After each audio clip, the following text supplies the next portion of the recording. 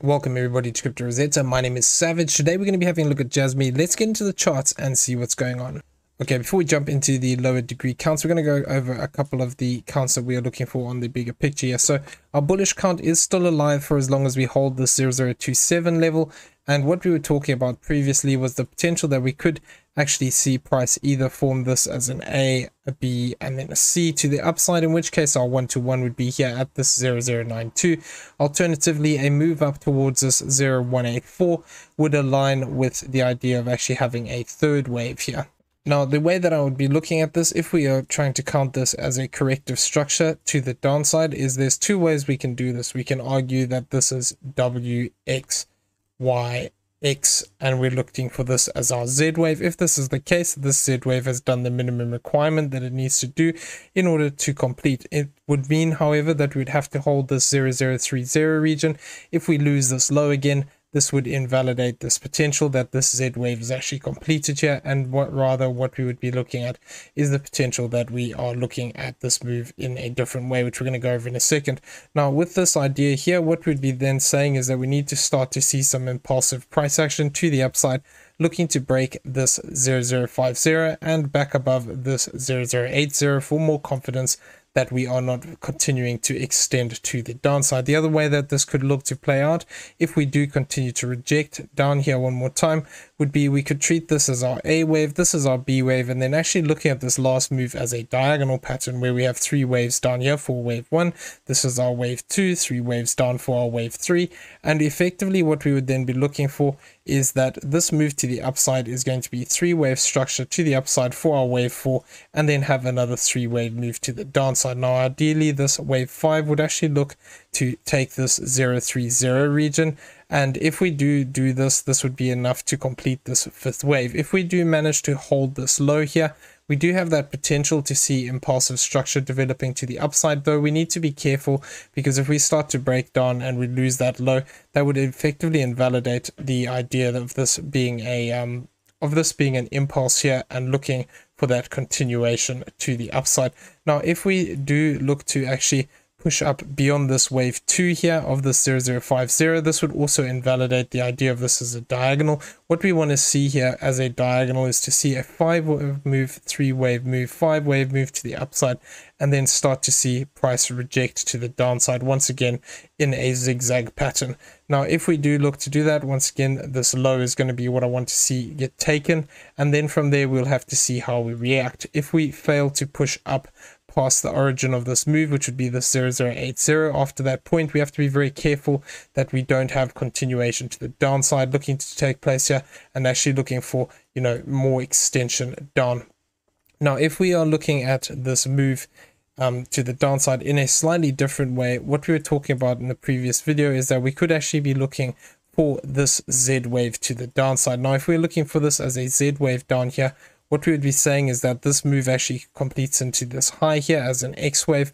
And what we're saying is that this is our A wave, this is our B wave, and then potentially we are looking for a C wave down. Now, once again, we could be looking for this diagonal here where this becomes one, two, three, four, and 5. And this is why I say until we actually take this high over here, we need to be careful because if we do get another 3 wave move down which breaks this low, what I'll then be looking for is to see how we react to the upside. If we do see a bigger 3 wave move up here, this could mean that this whole diagonal pattern becomes A, we get B, and then we're looking for this C wave down, looking to actually complete this Z wave. Now, the minimum requirement for this Z wave would actually be all the way down here at the 0009. So if we do see price looking to push down deeper here, this would make a lot more sense.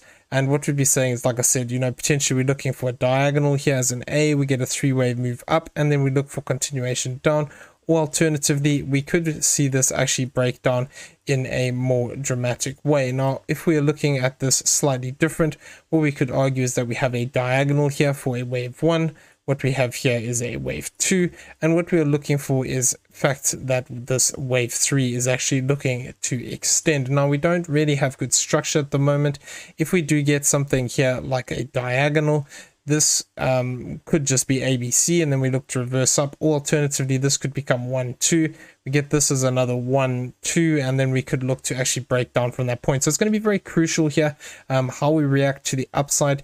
Unless we start to break back above these key highs, particularly this 0080, we need to be very careful of this idea of a continuation down. Now, we also discussed the possibility of extension like this in the previous video. Now, the problem is that the price action just really hasn't followed through.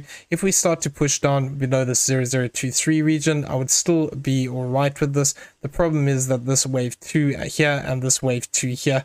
They are not the greatest because this wave 2 as a secondary wave 2 would be bigger so it becomes less likely that it would play out. But nevertheless if we start to break down beyond this 0023 region we need to pay attention to the idea that we could actually be looking to extend out. Now if we are extending out this is what we need to be careful of in our bearish uh, scenario here is that effectively we could actually also have this as 1 2 this is another one too. And if we fail to push back above this 0040 and actually invalidate this by moving up past this 0043 region, what we could see is if we do see price looking to break to the downside in a five wave structure like this and we move down towards this 0022 region this would then align with the idea that this becomes one two three four and then we'd get a fifth wave here towards this 02 0021 to the 0019 region, in which case then we'd have to allow for the fact that we still have this wave 2 up here.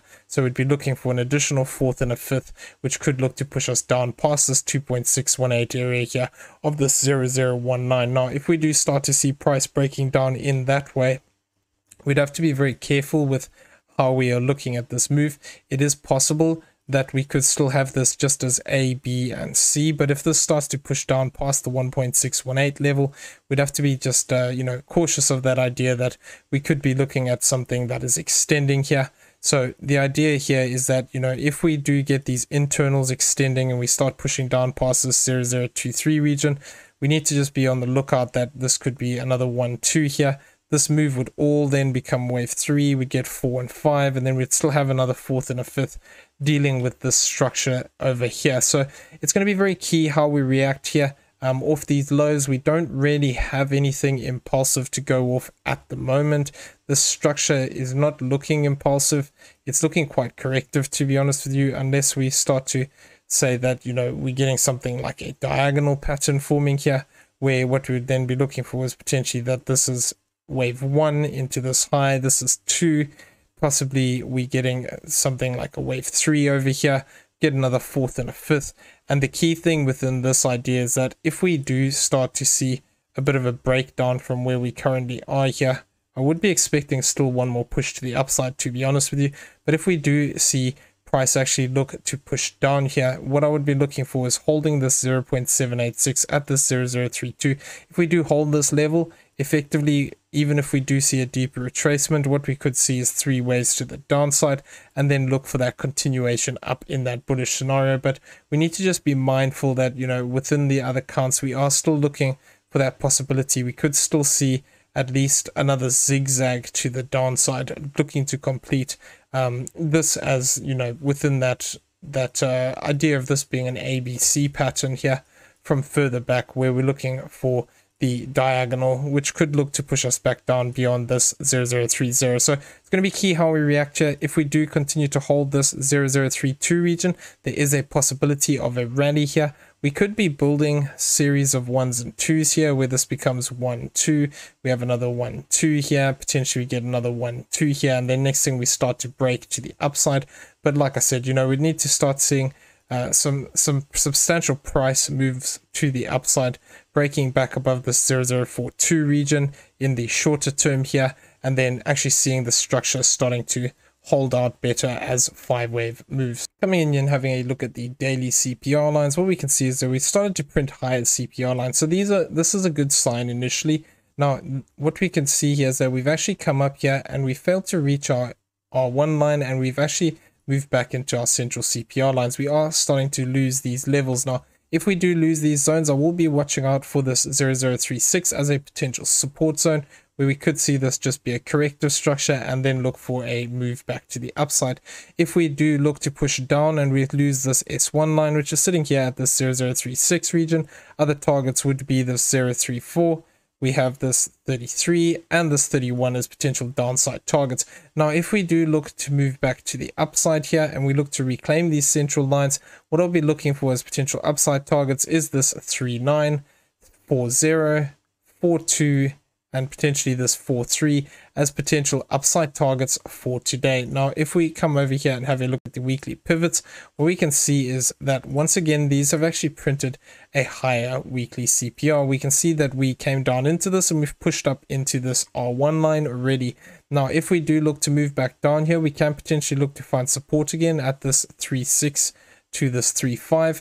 If we do, however, look to continue to push back above this R1 line and turn this into support at this 0038, what we could then see is price could be gravitated towards some of these higher levels, 4.0 and this for two are possible upside targets for this week. If we do see price starting to break down, we lose these central lines. Targets I will be looking out for here is this 0033, we have this 0031, and then we have this lower target here of this 0029 as potential downside targets for this week. Other targets for this month, if we come onto the monthly CPRs, what we can see is that we've actually printed a lower CPR, but this is very tightly spread on these lines. So this is indicating volatility. Now we are currently above these central lines. These could still offer us support at the 036 region if we do look to move back down here. If we do look to find support higher up here and start to rally to the upside, targets I will be looking out for this month will be this 0043, which will be a very interesting zone because would be looking to interact with this high again. If we do look to push up higher here, we have this 0049 and this 0055 as potential upside targets for this month. Now, if we do look to lose these CPR lines, which are sitting at this 0036, and look to reject down deeper, I will be keeping an eye on this 0030, which aligns quite nicely with a double bottom here. Other targets to the downside would be the 0023 and the 0017 as potential downside targets for this month. Okay, so I'm going to leave the video there. I hope you found it useful. If you did, please smash the like button, hit that subscribe button if you haven't already, turn on those bell notifications so you never miss a video. Leave us some feedback down below. And also in the description, you will find a link to the Discord. Come check it out. It's free to join. Everyone have a great day. We will see you in the next one. Take care.